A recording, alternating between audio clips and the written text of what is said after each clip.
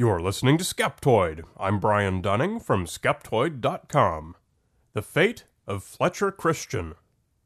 The Mutiny on the Bounty is perhaps the best known of all stories from the era of wooden ships. Fletcher Christian, the infamous officer responsible for the affair, is believed to have died on Pitcairn Island, where he and the other mutineers took refuge. Yet some say his death was faked, and he did in fact make it back to England. Today we'll point the skeptical eye at these stories and see if we can learn for certain where Fletcher Christian made his final atonement. The basic story of the bounty is not only well known, it's well documented, and not in any meaningful doubt. In 1789, the small British naval ship left the island of Tahiti with a cargo of breadfruit plants. Three weeks later, its discontented crew, led by sailing master Fletcher Christian, mutinied against Captain William Bligh. Bligh and the loyal crew members were set adrift in the Bounty's open launch, in which they ultimately made it to safety and made knowledge of the mutiny public. Christian and his crew of 24, 18 mutineers, four loyalists who couldn't fit in Bligh's launch, and two neutral men, sought refuge for several months in some of the neighboring islands, but upon finding the natives too unfriendly, they returned briefly to Tahiti. Sixteen of the men remained there, leaving only eight aboard the Bounty, barely enough to sail her. And so one night, when the mutineers' women and some other natives happened to be on board, they set sail unexpectedly, effectively kidnapping the Tahitians. And thus was the founding population of Pitcairn Island established eight British sailors, six Tahitian men, eleven Tahitian women, and one baby. These events are known from the accounts of the sailors who remained on Tahiti, including the four Loyalists, who were either captured by or rejoined the British Navy when the ship Pandora was dispatched to find them.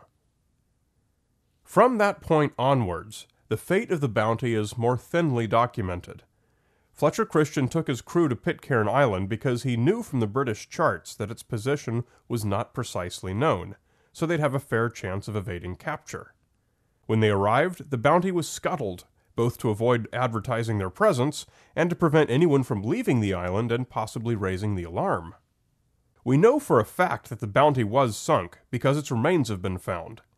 Without any reasonable doubt, Fletcher Christian left Tahiti aboard a ship that went to Pitcairn Island and nowhere else. No other ship of any nation reported encountering them en route. One of the mutineers who elected to remain on Tahiti was Peter Heywood, a close friend of Christian's.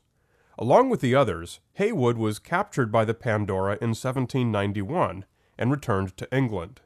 He was court-martialed and sentenced to hang, but his was a family of wealth and influence, and Heywood received a pardon. Heywood returned to service in the Navy, rose through the ranks, and had a successful career as a captain. Heywood was to play a pivotal role in the theories of Christian's alleged return to England.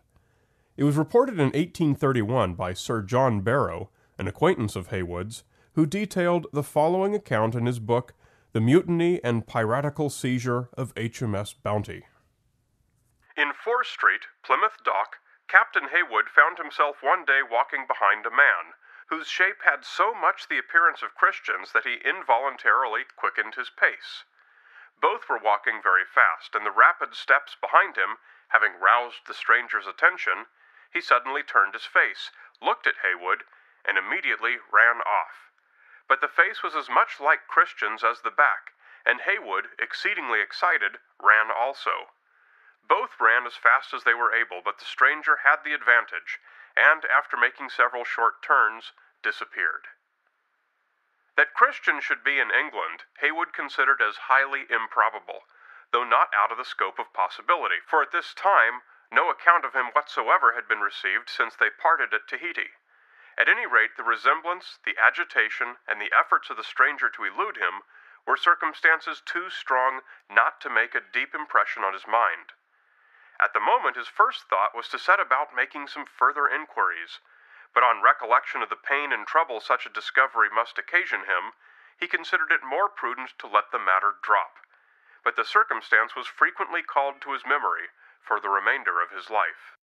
Although Heywood's is the only reliably documented account of anyone actually encountering Fletcher Christian in England after the mutiny, there was already something of an urban legend at the time. Barrow also wrote, About the years 1808 and 1809, a very general opinion was prevalent in the neighborhood on the lakes of Cumberland and Westmoreland that Christian was in that part of the country, and made frequent private visits to an aunt who was living there. In 1797, eight years after the news of the mutiny reached England, Samuel Taylor Coleridge wrote his poem The Rime of the Ancient Mariner, which in some circles was believed to be loosely based on the life of Fletcher Christian, prompting speculation that Christian must have been available for Coleridge to interview. Coleridge's colleague, William Wordsworth, had been a childhood classmate of Christian's. When Christian was tried in absentia for the crime of piracy, he was defended by his brother, the lawyer Edward Christian, and Wordsworth joined in his defense. So well known, or at least well believed, was the association of Coleridge and Wordsworth with Christian, that at least one author, C.S. Wilkinson, proposed in his book The Wake of the Bounty that the two poets might have collaborated to have somehow brought Christian back to England. No evidence of this has ever been offered, but it remains one of the most popular rumors about Christian's fate. Could the man Peter Heywood chased in Plymouth actually have been Fletcher Christian? For this to be possible, Christian would have had to have found some way of leaving Pitcairn Island after his known arrival there in 1789, and no later than when the island was visited by the American seal hunting ship Topaz in 1808. On that day, three young men who appeared to be Pacific Islanders paddled out to the Topaz in a Tahitian style canoe, and astonished its captain, Mayhew Folger, with their friendliness and perfect English.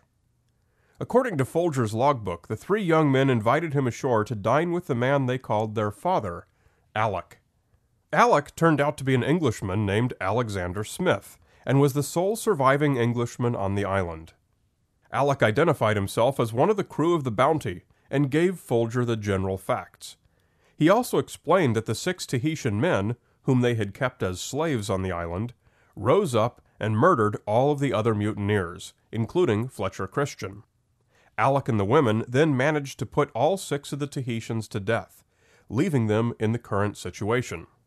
Folger was ultimately able to deliver this report to the British Navy, along with his statement of Alec's character. He immediately went to work tilling the grounds that now produces plenty for them all, and there he lives very comfortably as commander in chief of Pitcairn's Island.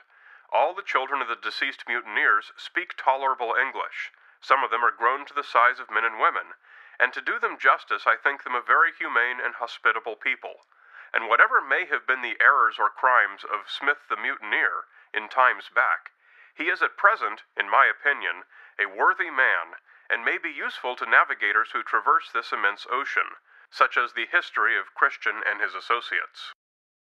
Folger was satisfied that there were indeed no other Englishmen living on the island. Similar circumstances were discovered six years later in 1814 when two British ships, HMS Briton and Tagus, visited.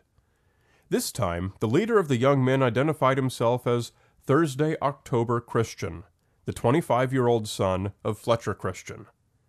By Thursday's own account, his father had indeed been killed on the island. Captain Pipon of the Tagus wrote a detailed account of their days spent on the island, and of what they learned. Alexander Smith, it turned out, was a fake name and Alec was actually John Adams, an able seaman who denied having had any part in the mutiny, contrary to what had already been learned from Captain Bligh and his loyalists. Perhaps having learned from Folger that there was no longer any great dragnet to catch the mutineers, Adams was much more forthcoming with Pipon than he had been with Folger. He showed the detailed log the islanders had kept all those years, and it included the true fates of the Englishmen and the Tahitians. Disputes over women, authority, and slavery had torn the group apart, with murders having taken place on both sides. Fletcher Christian had been killed by two of the Tahitians on the island's bloodiest day in 1793, on which four of the Englishmen died. Christian was survived by his Tahitian wife, Maimiti, and three children, Thursday, Charles, and Marianne.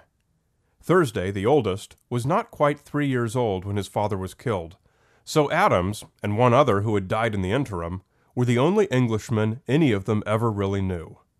Maimiti witnessed her husband's death and later recounted it in great detail. This was the true history of Pitcairn Island's colonists, according to all of them who were ever asked.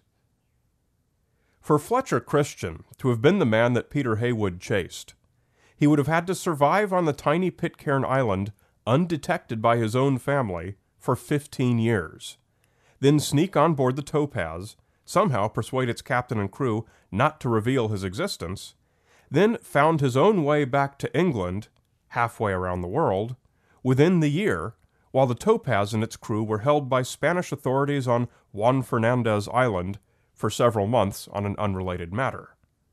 Is that string of improbabilities really more likely than Heywood was simply mistaken about the identity of the man whose face he saw only once in a quick glance, and even then only in a second hand report?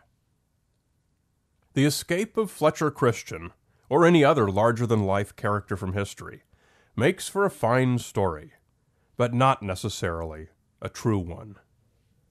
I need to give huge thanks to those of you who support Skeptoid financially through the monthly micropayments. Skeptoid has continued as long as it has only because of you. You have my gratitude, and please introduce yourself if you run into me at a conference. You're listening to Skeptoid. I'm Brian Dunning from Skeptoid.com.